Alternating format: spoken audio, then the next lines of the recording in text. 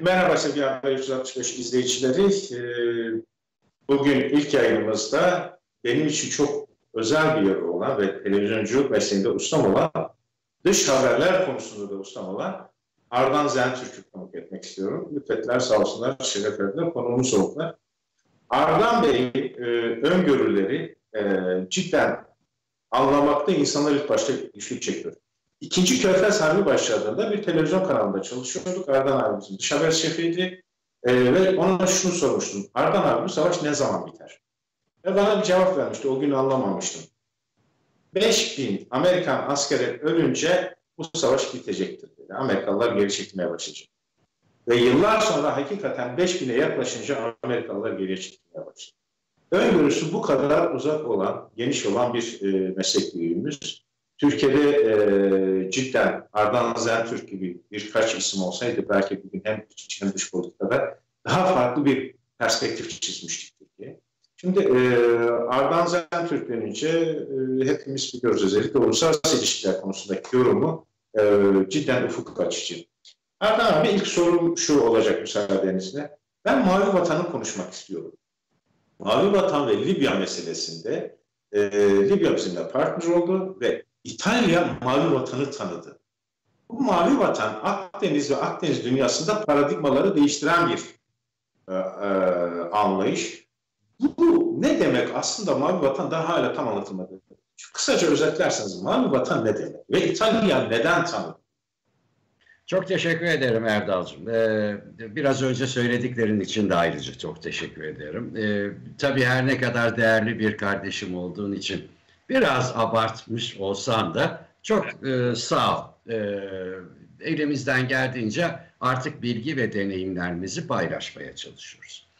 Mavi vatan önemli bir kavram. Mavi vatan biliyorsun e, e, emekli oramiral Cem Gürdeniz sonra e, şu anda Deniz Kuvvetleri Komutanlığı Kurmay Başkanlığını yapan Tüm Amiral Cihat Yaycı ve emekli e, birçok amiralimizin üzerinde çalıştığı ve biçimlendirdiği bir kavram. Ve bu kavramı Cumhurbaşkanı Recep Tayyip Erdoğan'ın sahip çıkmasını da bir siyasi kararlılık olarak büyük bir şans olarak görüyorum. E, çünkü e, Mavi Vatan çok basit bir anlatımıyla e, bugün 780 bin kilometre kare olan e, kara topraklarımızın, kara egemenliğimizin tam iki misli bir coğrafyayı içeriyor. Çünkü biz bir yarım adayız. Herkes unutuyor ya. Yani bu ülkede e, Türkiye Cumhuriyeti'nin Anadolu topraklarının bir yarım ada olduğunu ve Karadeniz Marmara bağlantısı Ege ve Akdeniz'de çevrili esasen denize ufka açık bir coğrafyada yaşadığımızı zaman zaman biz unuttuk veya unutturulduk.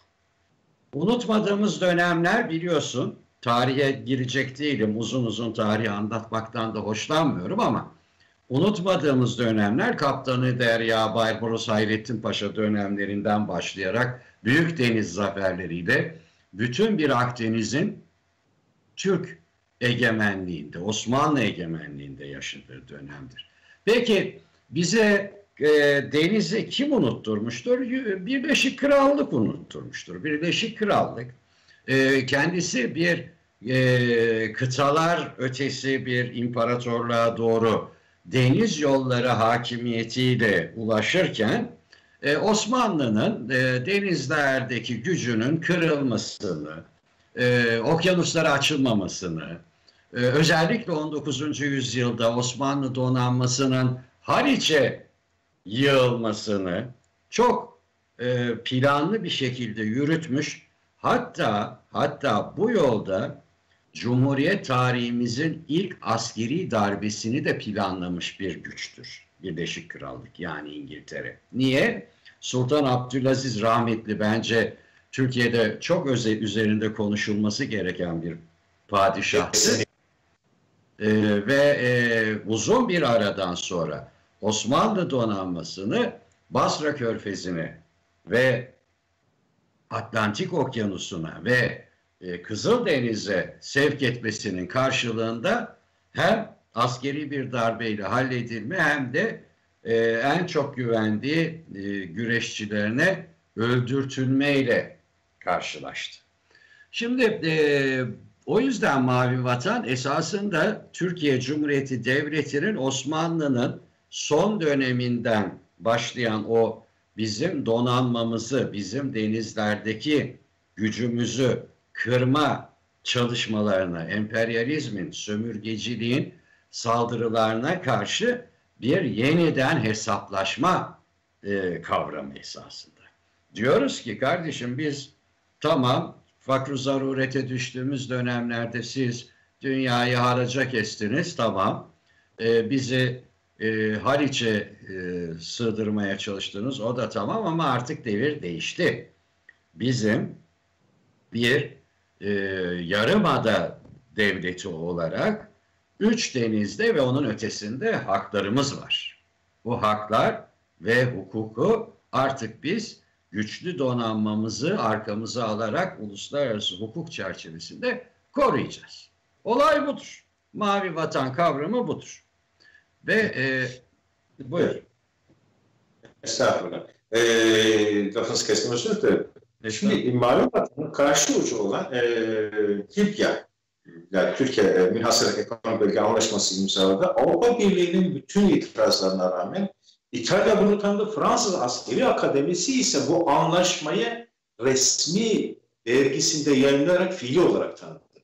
Bu ne anlama geliyor? Akdeniz'e kıyısı olan iki ülke Türkiye ile Libya arasındaki münhasır ekonomik anlaşma, bölge anlaşmasını kabul etti.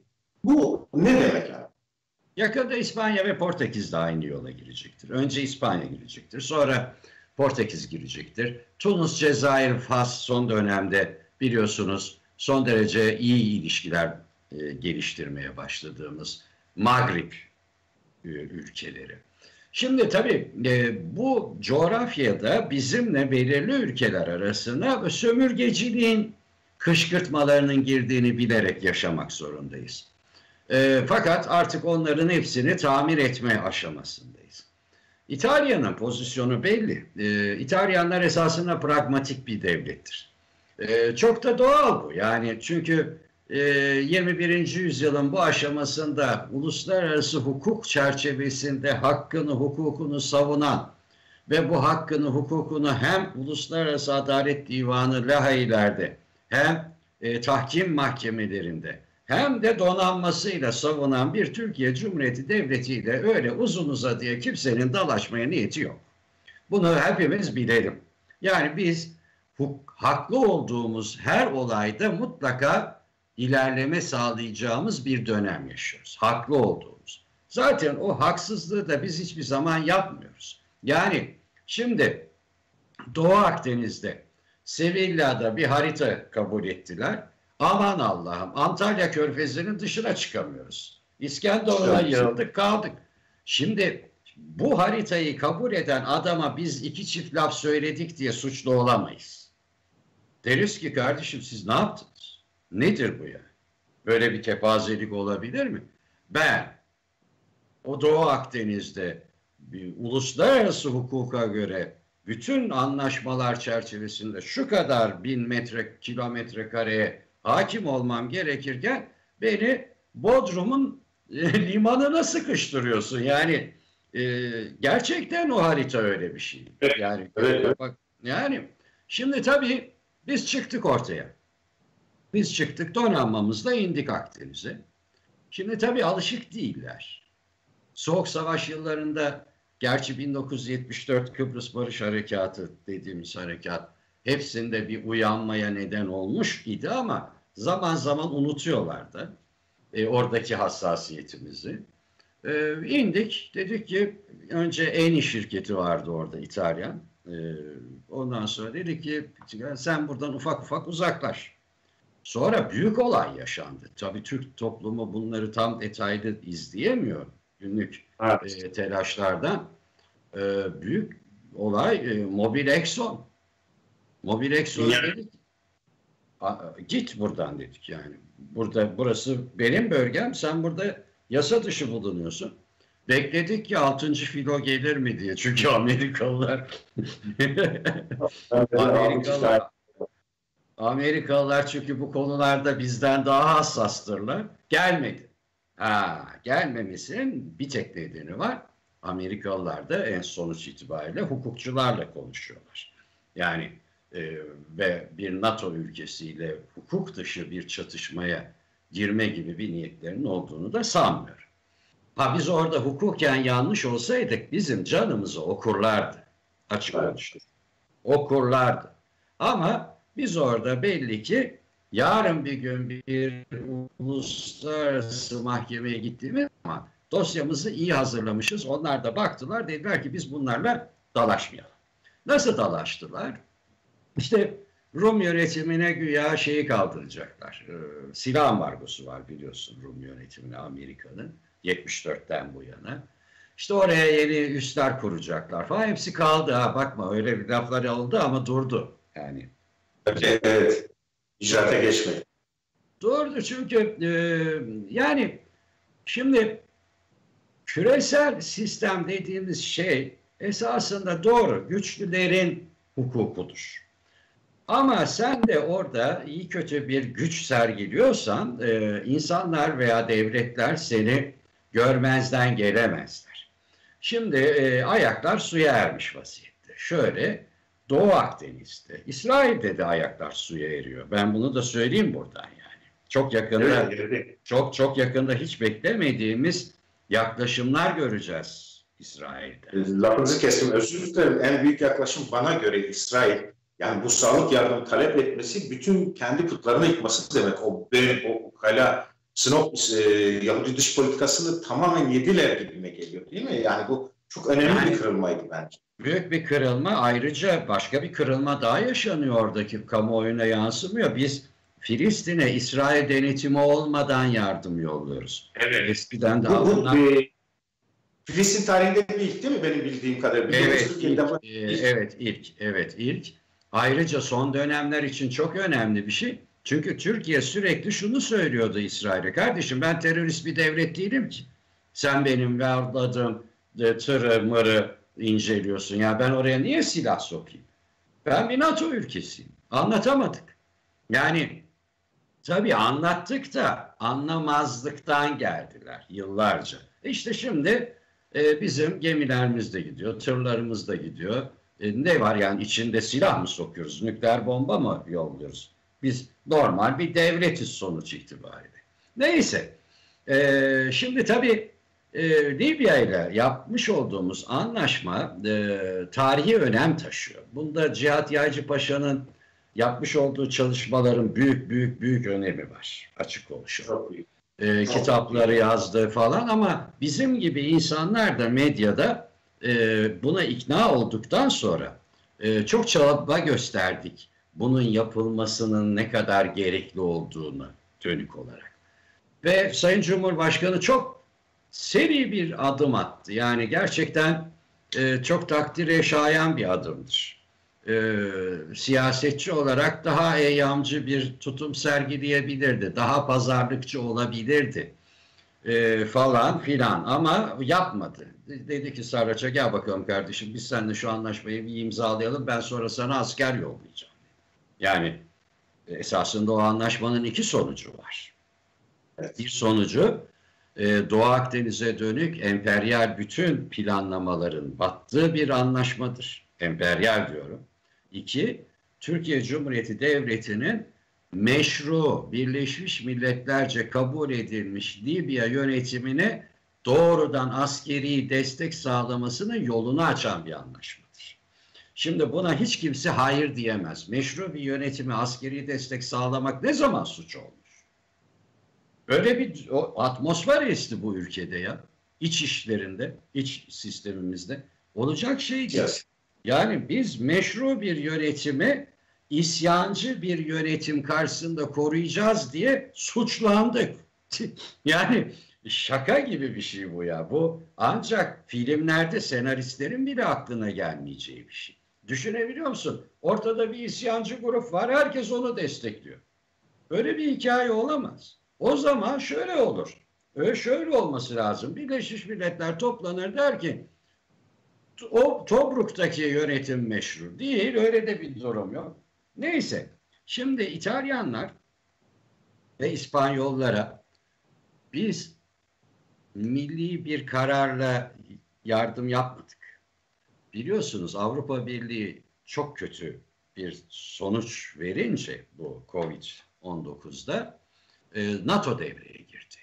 NATO Dışişleri Bakanları toplantısında NATO Genelkurmay Başkanı'na denildi ki kardeşim devreye sen gir, bu işi sen organize et yoksa hep beraber ölüp gideceğiz. Onun üzerine NATO Shape karargahı Brüksel'deki NATO üyeleri içinde devreye girdi ve tabii e, o üyelerin doğu bölümündekileri saymıyorum yani eski Romanya. onlar onlar hala böyle etrafa bakıyorlar yani sadece. Yani NATO'da mıyız onu bile anlam onu bile anlamış değiller. Polonya'sı, şusu busu. E tabii e, kadim devlet ve güçlü devletler devreye girdi. Biz e, elimizdeki imkanları NATO'yla çünkü askeri uçaklar götürdü biliyorsunuz. Evet. E, şey sivil evet. uçaklar götürmedi. Bu e, NATO Çok özür dilerim. bu yani Türkiye'nin e, cidden sizin bu ayrıştırmanızı Türkiye farkında değil. Bu bir NATO hareketi ve bu Türkiye'nin NATO'daki pozisyonu ne duruma getirdi abi? Bu çok, çok önemli bir e, çok ayrı. güçlü. Çok güçlü. Çok çok güçlü. Yani zaten NATO'da hiçbir zaman güçsüz olmadık. Yani tarihimizin hiçbir döneminde. Ee, Afganistan'da olay olur biz gideriz Amerikalıları kurtarırız. Arnavutluk'ta isyan çıkar biz gideriz onları durdururuz. Bosna Hersek'te, Bosna Hersek'te savaş olur biz gideriz durun bakalım burada ne oluyor. Bir bizim işimize koşan yok.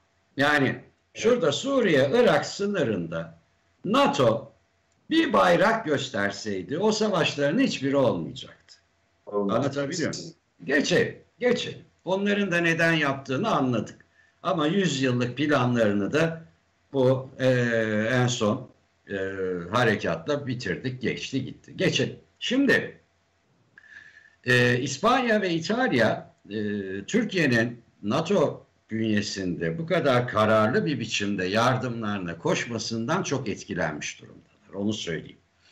Ee, daha düne kadar Türkiye'ye demediklerini bırakan İtalyan ve İspanya medyası ki biliyorsun İspanyol Dışişleri Bakanı çıktı kendi medyasına dedi ki Allah belanızı versin siz ne kadar çirkef adamlarsınız dedi. Yani dedi bu manası oydu açıklamanın Türkiye ile ilgili.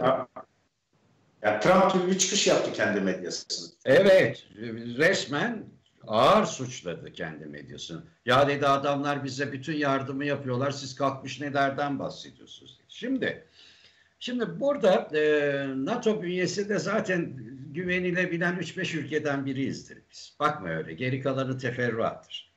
E, yani Belçikalı pilotların hala grev hakkı var. Onu anlatmaya çalışıyorum. E, geçelim. Şimdi e, Türkiye tabii NATO'nun her zaman e, temel direklerinden biridir. Ama bu son olayda ki Sayın e, Çavuşoğlu açık ve net söyledi. Bizim ihtiyacımız varken biz yine yardıma koştuk. Yani hakikaten o sırada ilk etapta bizim de ihtiyacımız vardı. Şimdi tabii kendi üretimlerimizle açığımızı kapattık, maskelerimizi e, yapıyoruz, işte solunum cihazları üretiliyor falan. Ama bizim bile açığımız vardı o dönemde. Şimdi tabii bu Akdeniz'deki bütün dengeleri değiştirir. Değiştirdi de zaten. Şimdi Yunanlıların ciyaklamasının nedeni bu. Yunan e, halkını çok severiz. Gerçekten tatlı insanlardır. Yani evet. e, zaten hayatta hep aynı şeyi söylemişimdir. Bütün meslek hayatım boyunca Erdem. Dünyanın en korkunç savaşı bir Türk-Yunan savaşıdır. Bu iki millette bu iki millette o savaşı hiç hak etmeyen millettir. Yani Türkler de çok iyi insanlardır. Yunan halkı da iyi insanlardır. Yani onların savaşması hep emperyalist güçlerin zorlamasıyla olmuştur zaten. Ee, neyse e, tarihi bir kenara bırakacak olursak bugün tabii e, Yunanistan'da ne yazık ki e, sağcı siyaset Türk düşmanlığı üzerinden slogan ürettiği için ki bizim merkez sağ ve hatta milliyetçi kanatta Rum düşmanlığı yoktur. E, böyle bir söylem de yoktur. E, o yüzden e, zaman zaman ciyaklayacaklar ama onlar şu anda ciyaklama nedeni e, kendilerini yalnız hissediyorlar. Hiçbir zaman Türkiye'ye karşı bu kadar yalnız kalmamışlardı. Onları evet. hep böyle bir koruyan, kollayan bir şey vardı ama bu Covid-19'dan sonra herkes kendi içine çekildi. Herkes kendi derdine çekildi. E, Fransa'nın kalkıp da Rum için veya Yunan için kalkıp Türkiye ile dalaşacak hali mi var? Daha yıllarca da hali olmayacak. O yüzden şimdi ciyaklamaları şu, bizi duyun diyorlar. Bizi duyun. Yani biz burada gidiyoruz. Halbuki gittikleri bir yerde yok. 6 mil kalsa hatta 3 mile düşürsek, beraber şirketler kursak, beraber araştırma grupları oluştursak, bilimsel faaliyetleri birleştirsek vesaire. Yani Yunanlılar kendi bacaklarına sıkıyorlar, farkında değiller. Çünkü Türkiye Yunanistansız güçlü ama Yunanistan Türkiye'siz perişan oluyor. Bunu anlamış değiller. Yani bizim güçlü olmak için Yunanistan'a ihtiyacımız yok. Biz tek başımıza böyle de güçlü oluyoruz. Ama bizim ilişkilerimizi askıya aldığımız bir Yunanistan perişan oluyor.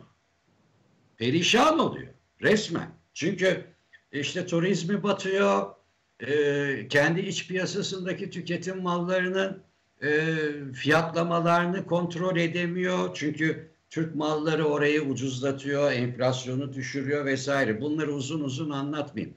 Yani esasında Yunanistan bizim uydumuz gibi yaşıyor. Buna rağmen Doğru. ikide bir çıkıyorlar. Bizimle dalaşmak istiyorlar. Ya biz seninle niye dalaşalım? Yani benim seninle bir alıp veremediğim yok ki. Ha gelirsin İskenderun limanının karşısına gemini koyarsan e yersin füzeyi tabii. Yani o, o kadar yani o kadar da değil. Ama sonuç itibariyle burada bir beraber çalışma imkanı doğabilecekken habire Amerika'ya mektup yazıyor, Fransa'ya mektup yazıyor. Kardeşim onlardan sana bir fayda yok. Geleceğim Ankara'ya oturacağız, İzmir'e. Bunları konuşacağız. Şimdi Libya müthiş bir başarı öyküsüne dönüşüyor Türkiye açısından. İlk bir ayı biz oraya askerlerimizi vesairemizi yolladığımız zaman Hafter ve Birleşik Arap Emirlikleri'nden, Rusya'dan, şuradan buradan aldığı destekle bizi biraz sıkıştırdı. Kayıplar da verdik biliyorsun füzelerden falan. Ama e, tabii bu Covid-19 falan da ortada yoktu o sırada. E, petrol fiyatları bu kadar hızlı düşüş sergilemiyordu. İşler biraz e, karşımızdaki koalisyonun istekleri doğrultusunda gelişiyordu. Ama sonra işte bütün işler değişti. Özellikle son bir haftadır fena halde dayak atıyoruz. Kötü dayak atıyoruz yani. Böyle uçak... yani ben onu soracaktım size özür dilerim. Şimdi Libya'da evet bir sıkıştırılmıştı. Sanki bu Türklerin hilal ve kurt oyunu gibi. Evet. Mi yoksa bu doğal koşulların zorladığı bir sonuç mu oldu? Şimdi yani çok ben, kötüdür. Şimdi e, şöyle, e, şimdi Rusya'nın Türkiye ile Libya üzerinden veya Suriye üzerinden böyle sert bir dalaşmaya hazır olmadığını artık biliyoruz. Denediklerini denediler. Onları da not aldık. E, hiç yakışmadı ayrıca. E, Türk ve Rus halkları arasında çok sert bir iklim doğabilirdi. Karşılıklı olarak işte İdlib'de meseleyi e, Putin'le Erdoğan bir şekilde kontrol altına aldılar. Orada işler kontrolden çıkabilirdi. Ama şunu gördü Rusya, e, hem Suriye'de hem Libya'da iki cephede birden Türkiye ile dalaşmasının kendisine getireceği herhangi bir maddi kazanç yok. Stratejik bir üstünlük de yok. Tabii büyük oyuncu soğukkanlılığa dönünce diğer küçük oyuncular açısından e, sorun büyüyor. Mesela İran Suriye'de artık dış kapının dış mandalına doğru gidiyor. E, Libya'da da Birleşik Arap Emirlikleri, Suudi Arabistan, Mısır, Amerika'nın Türkiye'ye karşı tamamen tarafsız kalması Libya'da. Rusya'nın da İdlib Anlaşması'ndan sonra hissedilir bir şekilde bölgedeki varlığını yavaş yavaş geriye çekmesi sonucu e bir de Covid-19 geldi. E, Mısır biliyorsun paralize olmuş vaziyette.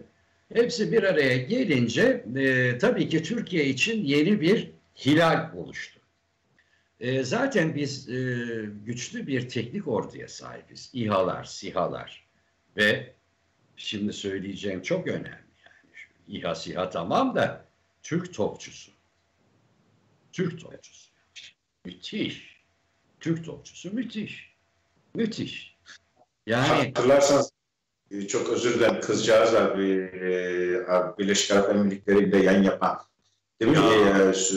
E, genel dedi ki ya siz bir Türk tankını mı aşamıyorsunuz? Böyle dalga geçti. O kızcağızı da ertesi gün otelde öldürdüler. Öldürdüler. Evet. evet. Bir, yani bir, bir Türk bir, tankı tank değil, topu, bir Türk topunu mu aşamadınız?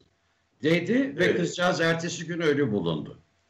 Evet, çünkü Birleşik Arap Emirlikleri'nin deli olduğu iş bu. Çünkü kendilerine ait orduları olmayan devletlerden bahsediyoruz. Ee, paralı askerler. Topçusuna gelelim tekrardan. Yani o çok özel, sizin özel ilgi alanınız. O konuda biraz bilgi alalım. Türk topçusu çok ne yaptı? Türk topçusu, Türk topçusu çok teknik çalışıyor. Havada uçanı, kaçanı hepsini vuruyor. Yani o kadar teknik ki konvoylar gidiyor. Ve İHA'sız, SİHA'sız da gidiyor. Yani. O yüzden o yüzden tabii müthiş bir asimetrik üstünlük sağladık. E, aynı asimetrik üstünlük esasında şu anda Irak ve Suriye'de de devam ediyor. Biz giderek zamanın, ben hep söylemiştim hatırlarsan son dönemde, e, Türkiye Cumhuriyeti Irak ve Suriye'de dedim. Mutlaka zamana oynamalı. Çünkü, çünkü hep yazdım bunları. Niye? Çünkü sınırı olan benim yahu. Yani benim 900 kilometre sınırım var. İstersem ikinci orduyu bir sabaha karşı oraya sokarım. İki gün sonra da olduğu gibi geri çekerim. Aynı işi Rusya'nın, Amerika'nın, Fransa'nın, İngiltere'nin yapması mümkün değil. Yani benim bu problemli coğrafyaya sınırım olması nedeniyle müthiş bir asimetrik üstünlüğüm var ya. Ben istersem Kobani'ye girerim. Oradaki terör unsurlarını temizlerim. Üç gün sonra çekilir beklerim. Bakarım. Ne oluyor orada? Yeniden geliyorlar mı? Irak'ta yaptığım gibi.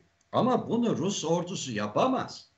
Yapabilmesi için bir yıl oraya 500 bin asker yığması lazım. Mümkün mü? Değil. Yani şimdi, mümkün. O yüzden biz zamanı oynadıkça kazanacağız. Çünkü rakiplerimizin nefesi yetmeyecek. Bu bir maraton koşusu. E şu anda şey e, son olarak Suriye'de e, siz zamana oynayın demiştiniz. Son olarak Suriye'de durum nedir? Türkiye ne yapar? Şimdi tabii e, Amerika Birleşik Devletleri Orta Doğu'daki varlığını azaltmaya çalışıyor. E, en son biliyorsun Irak'taki en büyük üslerinden birini Irak ordusuna devretti vesaire. Evet. Ve Rusya'da e, şu anda yaşamakta olduğu petrol krizi, ekonomik kriz, Covid-19 vesaire gibi nedenlerle sınır ötesi harekatlarında belirgin bir azaltmaya gidiyor. Sonuç itibariyle bence bence benim gördüğüm her iki güç de Türkiye ile bir gün masaya oturacak. Bu şu zafiyet anlamında bir masaya oturma değil veya Türkiye çok güçlü olduğu için e, iki süper güç diyelim veya iki gücün Türkiye'ye biat etmesi anlamında söylemiyorum. Sonuçta akıl öne gelecektir. Akıl masaya oturacaktır. Nedir o akıl? Türkiye hem NATO ülkesidir hem de Rusya ile ilişkilerini iyi tutmaya çalışan, iyi tutan bir devlet. O kadar mesele oldu. Bak S-400 programından vazgeçmedik. Rusya ile bütün ilişkilerimizi, enerji alışverişimizi vesairemizi düzgün tutmaya çalışıyoruz. Şimdi gerek Amerika'nın gerek Rusya'nın bölgede esasında kayıtsız şartsız güvenebileceği ama partner yani ortak olarak güvenebileceği tek devlet Türkiye Cumhuriyeti. Ve anladığım kadarıyla iş oraya doğru gidiyor. Yani diyecekler ki ya sen hani bir önermiştin ya Sayın Erdoğan neydi önerin? Ya gelin şu Deir Zor gibi şurası burası gibi petrol bölgelerini Suriye halkının menfaati için yeniden yapılandıralım demişti ya Sayın Erdoğan. Yani e, çok da doğru dedi yani sonu, sonu ve oradan çıkacak fonların gerek Irak'ın gerek Suriye'nin yeniden imarında akılcı ve uluslararası bir denetim mekanizması içinde kullanılmasını da önermişti. Şimdi bence e, bu formül e, Covid sonrasında dünya ekonomisinde yaşanılacak olağanüstü yıkımlar çerçevesinde gündeme gelecektir. Yani gerek Rusya, gerek Amerika, gerek Avrupa Birliği çatışma bölgelerinden en hassas olan bu iki noktada ve tabi Libya'da değer yani ulusal kaynakların ulusal kaynakların siyaset üstü bir yapılanma ve küresel denetim çerçevesinde savaştan yıkılmış bu bölgelerde yeniden yapılandırma, yeniden renovasyon ve daha yaşanabilir coğrafyalar oluşturmada Türkiye ile beraber çalışmayı planlayacaklardır. Ee, bence Türkiye buna hazırlıklı olmalıdır. Bence hazırlıklıdır da. Ee, çünkü sonuç itibariyle bizim bu coğrafyalardaki varlığımız sadece haklarımızın korunması terörizmle mücadele çerçevesinde. Biz emperyal bir devlet değiliz. Olmayacağız da. Olmamamız gerekiyor. Olduğumuz an bizi öldürürler. Yani nüfusumuzun yarısını kaybederiz. Öyle diyor. Bak açık net diyor. Bizim bugünkü uygulamamız vicdan diplomasisi, insanlara destek, mazlum coğrafyalarda bayrak gösterme. Bunların hepsi çok akılcı. Ama bunun bir adım ötesine gittiğimiz an müthiş bir duvara çarparız. Ha, o zaman biz iyi bir ortak olmaya çalışırsak ki öyle olacak. Diğer güçler de bu coğrafyada bizimle ortaklığı öne çıkaracaktır. İtalyanlar gibi başa geldik. Yani Fransızlar gibi. Ve yarın Amerikalılar gibi. Çünkü işte denediler. 100 yıllık planları bir harekatta sona erdi. Artık vaat edilmiş toprak falan yok kardeşim. Orada bizim Mehmetçik, orada bizim Mehmetçik ilkokul çocuklarda zil çalıyor ya. Aşı yapıyor ya. Yani orada 85 yaşındaki amcanın kapısına giden bir Mehmetçik var Resulayn'da. Amca iyi misin? Sağlığın yerinde mi? Gel senin şu ateşine bakayım diyen bir asker var orada. Şimdi orada ondan sonra İsrail'e yabat edilmiş işte Fırat Dicle'ymiş de falan bitti hikaye. Bitti. Konu kapandı. Ne yapacaklar? Efendim biz bir yüzyıl daha uğraşalım. E uğraş. Yani uğraşma diyen yok sana ama tavsiye etmiyoruz. Yani yaşanılan olaylardan sonra tavsiye etmiyoruz. Yapmayın diyoruz sadece. Çünkü gelen ölüyor. Onu, onu anlatmaya çalışıyorum. Yani deneyen ölüyor. E o zaman gelme. E olay bu. Çok teşekkür ederim yayınımıza katıldığınız için. Estağfurullah. Ee, evet e, sevgili izleyiciler, e, Usta, Türkiye'nin Saygın Gazetesi Ardan Zentürk konuğumuzdu. Mavi Vatanı, Libya'yı, Suriye'yi ve Covid'i konuştuk. Bir sonraki yayınımızda buluşmak üzere. Hoşçakalın.